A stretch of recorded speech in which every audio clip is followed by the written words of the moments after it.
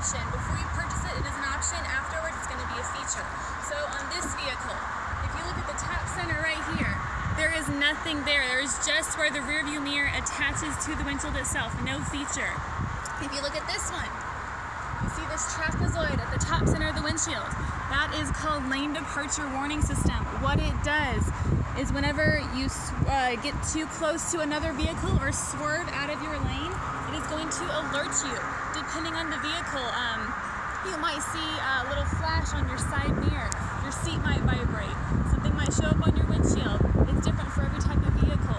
But keep in mind, if you have this feature, you have to replace it with the same one. Otherwise, it's not going to fit. Yes, the windshield itself will fit, but there's nothing for that to actually connect back into. So for us, we only put in the part that you need.